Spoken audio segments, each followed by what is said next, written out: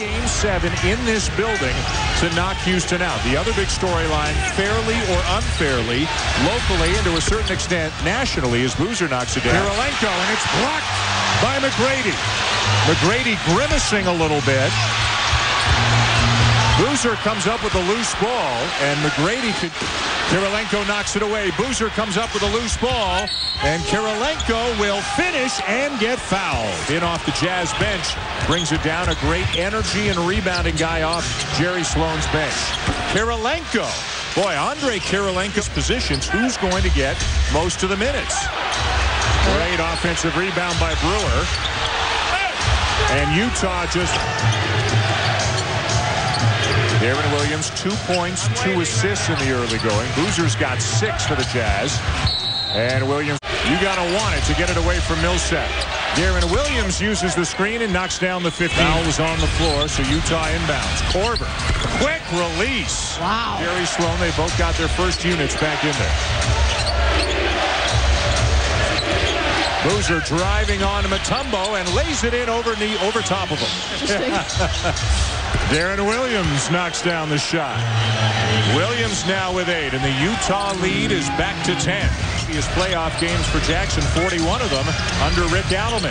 Kirilenko wide open for three. What a first half for Andre Kirilenko, who has already surpassed his season scoring average. And the momentum in the second half. Well, we got to keep playing D. You know, I think we're doing a good job helping each other. We're getting some deflections. We're making T-Mac take some tough shots. He's making some of them, but we'll live with that. Uh, for us, if we continue to play good D, we'll have a chance to win in the end. Carlos Knights first half. Thanks for your time. Dan. He's got great size, Dan. They can see it. McGrady now with five assists. What a cut by Kirilenko and an equally sweet twice, although neither has ever won a championship. Boozer knocks down the jumper to tie it.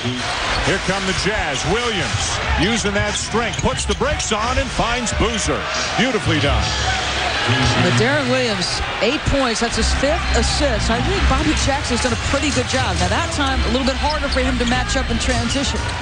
Shot clock at five. Williams inside to Brewer. The follow by Boozer.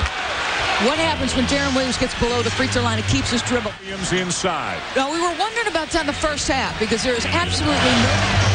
Kirilenko over McGrady. A big night wow. for Andre Kirilenko. First time tonight for Houston, number 20. A great outside shooter, as is Kyle Korver of the Utah Jazz. Korver, quick release again, and his second big bucket in the last couple of minutes. In the playoffs. Williams is fouled on a strong drive into the lane. Williams has spent a considerable amount of time down on the deck tonight.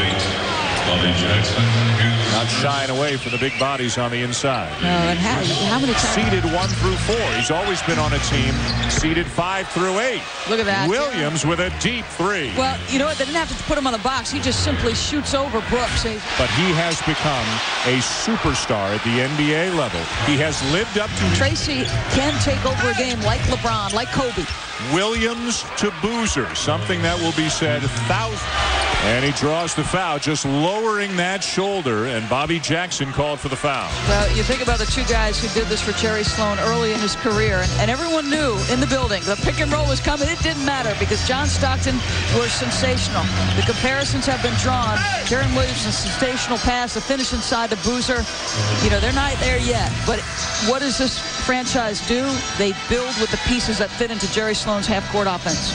269 Williams to Boozer, assists and buckets. Boozer, just too big and strong for Carl Landry. Well, make the disparity 12 now. As does Deron Williams, coast to coast. Too easy.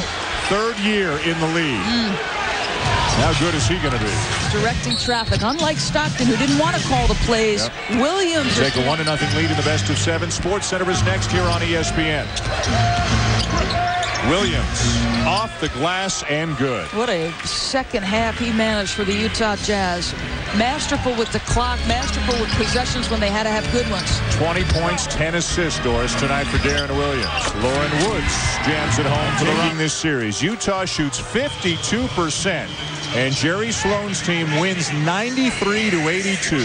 A road win for the Jazz here at the Toyota Center.